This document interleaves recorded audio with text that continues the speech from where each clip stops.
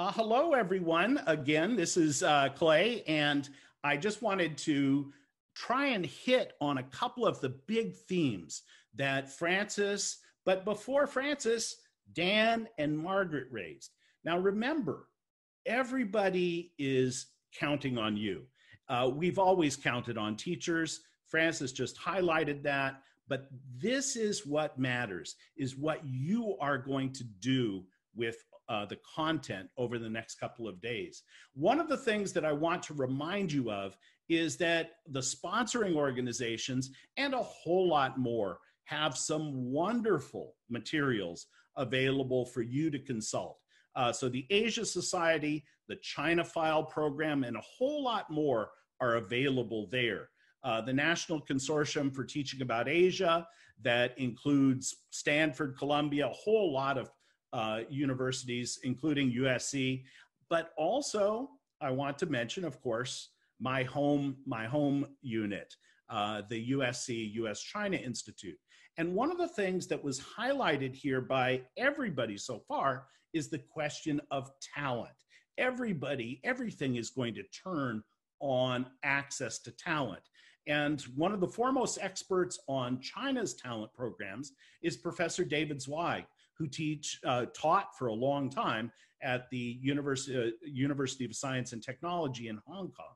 And he has spoken, he's done a lot of research on this. You can go to our website and watch his discussion. Now, one of the technologies, uh, we have teachers who teach uh, at the elementary level, at the middle school level, at the high school level.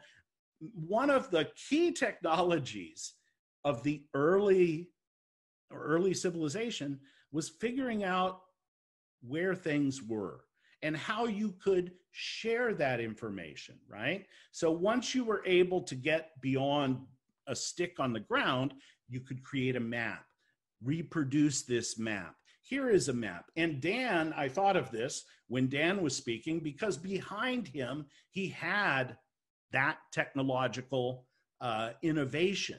Now, one of the things that's interesting for those of us who teach about China or teach world history is that one of the earliest mechanisms for the Jesuits and others to get into China was technological prowess, geographical and astronomical knowledge.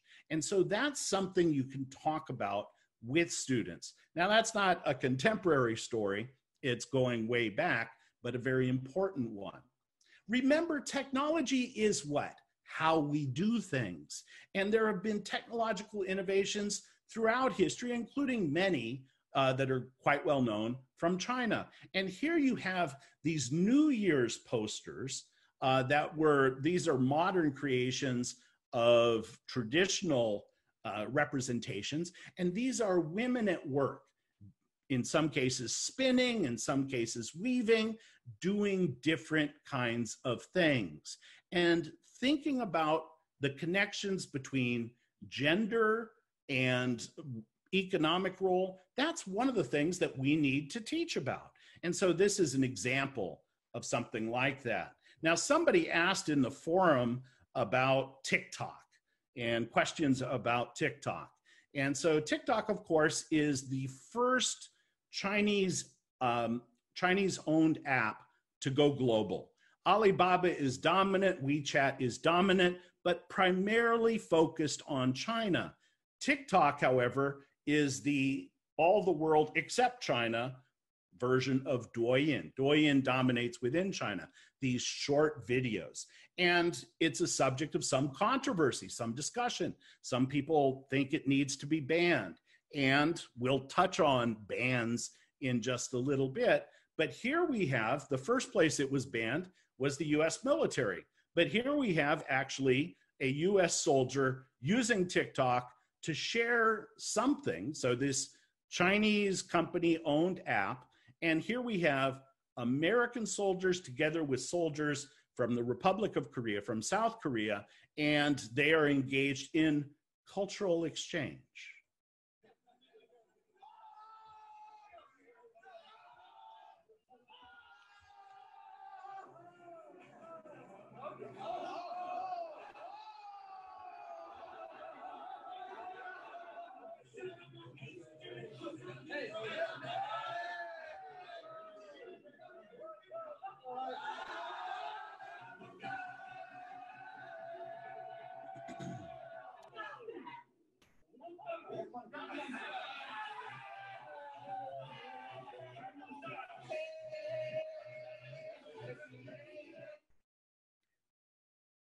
Gangnam Style. And uh, again, that's what soldiers have been doing with this. You'll also see language lessons, all sorts of things. Why ban TikTok? Well, there's concerns about location information and other issues. And we'll have time, hopefully, in the breakout sessions and throughout the course of the two days to look at this.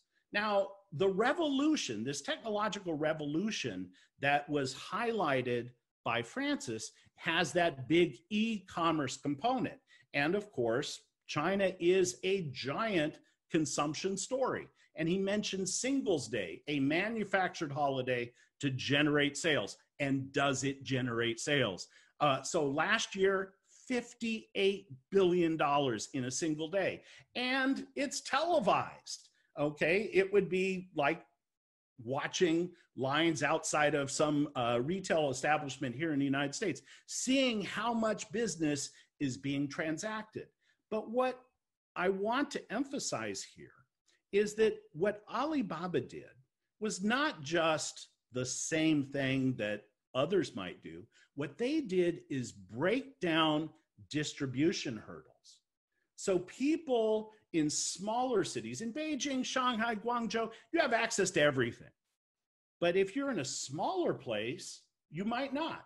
You might have the money to buy these things, but you wouldn't have access to it. And so e commerce helps to shatter that. At the same time, e commerce may not be an ideal solution. Uh, having you know delivery folks running around delivering one item one item may not also be the best thing for the environment for efficiency all these kinds of things. So there are dark clouds on the consumption horizon. Uh, we've seen some of that but where it's definitely booming is in making i'm having some trouble here making uh, in-person shopping gigantic. And so what we have here is the opening of the first Costco in Shanghai and huge crowds. They had to somehow regulate this. Now, this is pre COVID 19, so just flooding in. And Costco was already known to Chinese consumers because Chinese here in the United States were taking their viewers on tours of Costco, good stuff you can buy. And so when Costco actually opens its doors, there's a huge, huge audience. Sam's Club has been there for a long time, a quarter century, and is doing business. So the rise of e commerce hasn't eliminated in any way access to these other things. Now, some people asked uh, a question here in the q&a section and it's something that dan raised and that's the question of perceptions or opinions. And I'd like to share with you uh, some data here that comes from the Pew Research Center. Uh, it's a foremost public opinion polling operation. They work with pollsters in different countries, a really reliable group, and one that you should send your students to to look at. And they used to be able to carry out polls in China, but it's become an issue in China in recent years. So, exactly what the masses think, we have less scientific information for. But for American perceptions of China, it's really a really a downward trend. And we need to pay attention to this.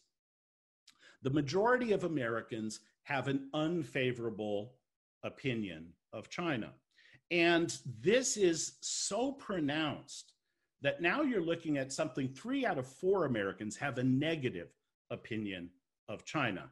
And it's gotten worse just in the last three or four months. So if you look, for example, in 2013, of the majority of young people, people between 18 and 30, had a positive view. But in this most recently uh, completed survey just a couple weeks ago, we see only about a third have a positive view of China. And that's in the under 30 crowd. If you look at the 50 and older crowd, it's very difficult to find someone who says, hey, I, I think China's doing a good thing or having a favorable impression. Now, there's a lot of things that go into an impression questions about human rights, questions about trade, questions about security, all sorts of things factor in. And the pollsters do ask specific questions to try to get at what are the biggest issues. So, but, you know, in your mind, favorable, unfavorable, where am I? And you can see that many Americans are quite negative. And so this is an issue for us to consider, uh, and especially to see this dramatic drop just in three months. And I would suggest that's got political a political connection, and maybe we can touch upon that.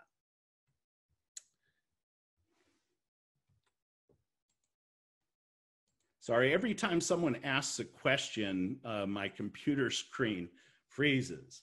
Now, what has driven the opinion of China down?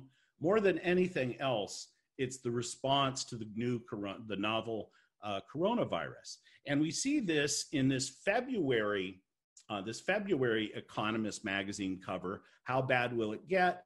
The Chinese flag as a mask over China, and in fact, of course, that mask needed to be global uh, because the disease isn't just a Chinese disease, it's a human disease and it has spread worldwide. So much so that we have here in the United States 150,000 uh, fewer Americans than we would have had without this virus.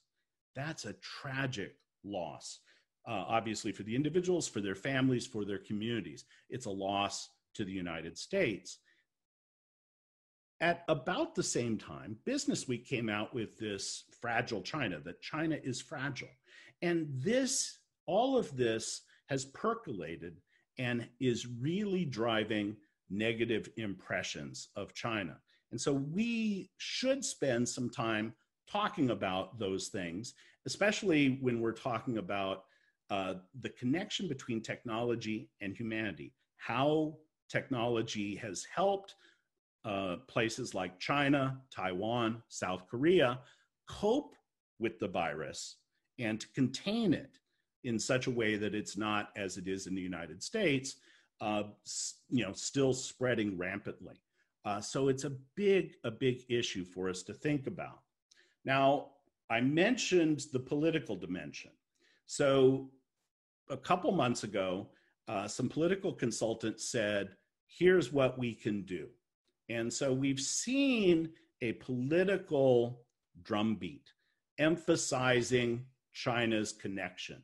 And so Mike Pompeo, uh, the former congressperson, the former director of the CIA, and now the Secretary of State, he's used these, the, these terms Wuhan virus, China virus, this sort of thing.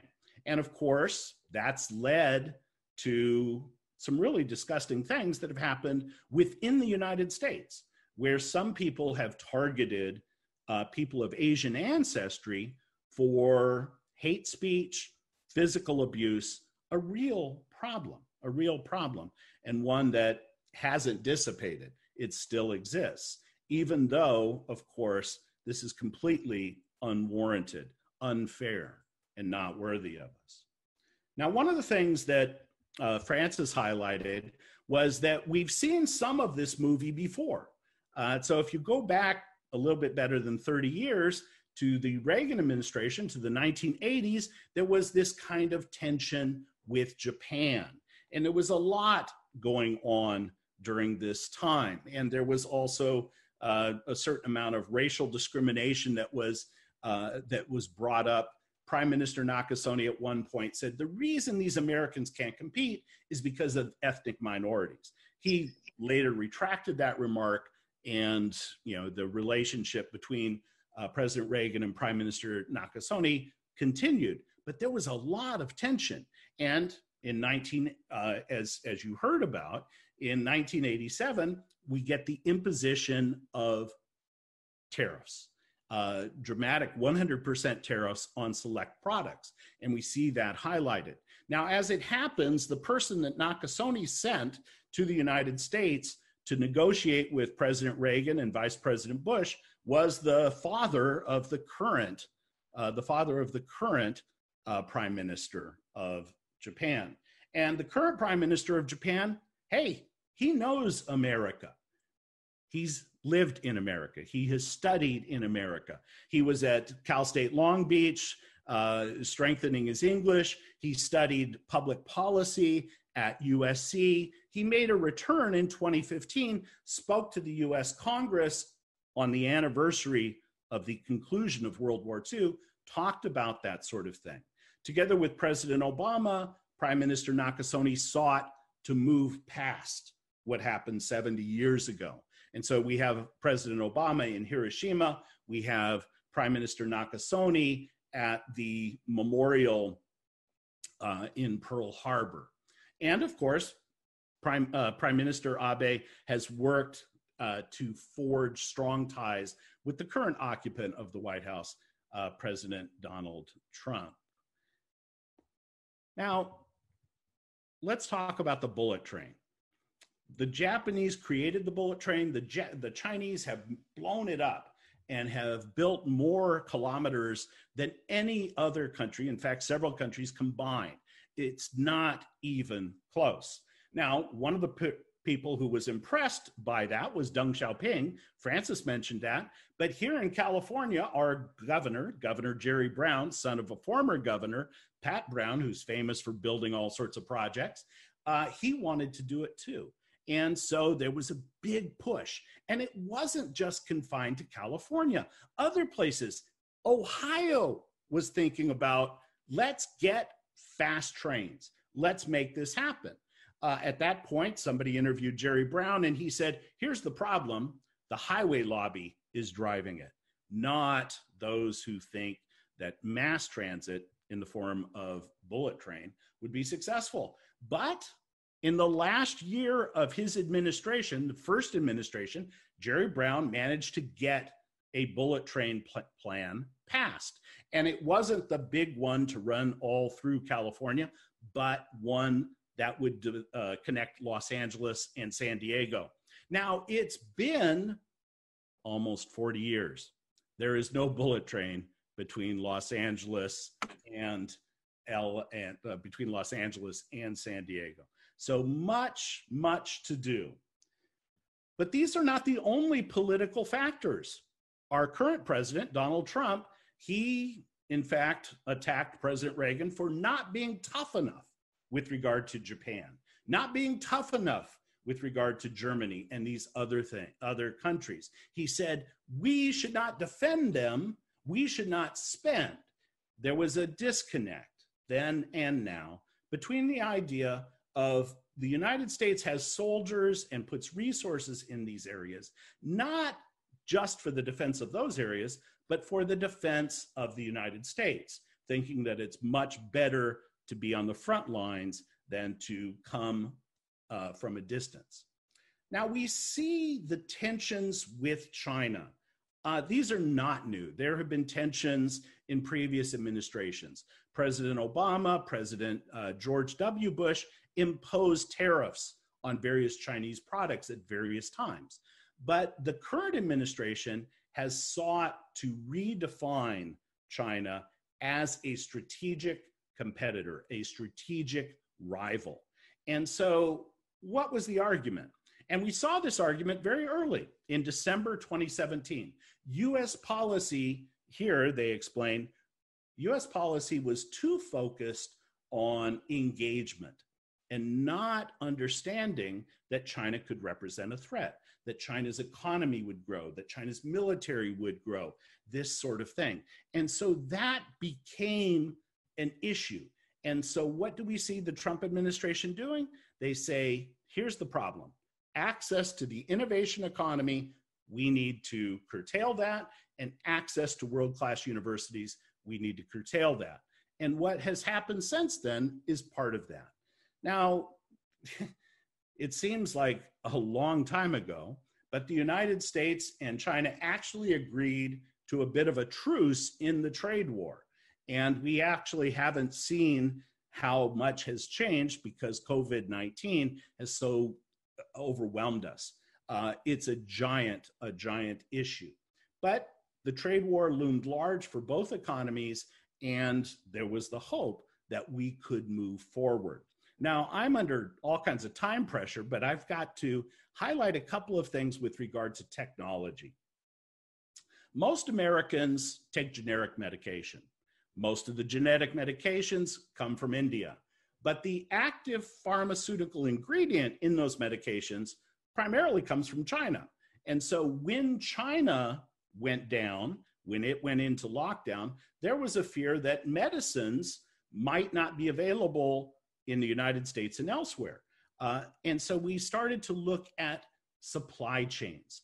In addition to pharmaceuticals, drugs, also medical devices, a big dependence. So some decoupling might be strategically smart to build resilience into our supply chains. But as was already explained, decoupling is just not really possible. Our economies are so intertwined that trying to decouple actually threatens ourselves. So, one of the things that has come up is China's industrial plan. And China, like other East Asian countries, has industrial plants, has always done this. The United States has done some of it as well, maybe not quite as comprehensively. But China's Made in China 2025, it was announced in 2015 and it was trumpeted throughout the Chinese media. But it was when foreigners took note, uh, the US China Business Council, the Chamber of Commerce, the Europeans, they didn't like this plan because what it did was it put forward the idea that China would be the dominant player within China in these technologies. And the plan said governments need, at different levels, need to find ways to support the development of these technologies artificial intelligence, robotics, electric vehicles, green energy, these sorts of things. And we had this uh, produced by a think tank in uh, in Europe, and it used a sun model. And the closer you are to the sun, the greater the danger. So you see that sort of thing. Now, once it became an issue in the United States, once it was brought up by the US uh, trade representative, what happened? The Chinese said, on the on this particular chart, what you see is Chinese press me- mentions, okay, of Made in China 2025 and it's solid. Every day there's something. Almost none in the American press. But once the trade war started, it became a daily theme. At the same time, the Chinese said, well, this is making them unhappy. Let's stop talking about it. But why does China need to develop on the technology side? This is why. Because right now, China is a net importer of property. Now, this is not about stealing or counterfeit or anything like that. This is stuff that actually Chinese companies and consumers buy. They pay license fees or they buy the products. And you see that the big exporter of intellectual property to China is the European Union. Uh, the United States is a giant exporter. Japan is. South Korea. South Korea, much smaller, but it is a player. China, not at all. China is an importer. China depends on intellectual property from these other places. It sees this as a giant economic weakness. And so it's trying to address this. And in China, turn the turn this down. In China, any sort of initiative has a propaganda uh, you know, a, a steamroller behind it, books, newspapers, magazines, and a TV show. And this TV show, the opening, uh, highlights all of the kinds of creations that China is busy at doing, trying to enter aeronautics, uh, high speed rail, all of these other kinds of products. And the idea is that China must innovate. Innovation is life.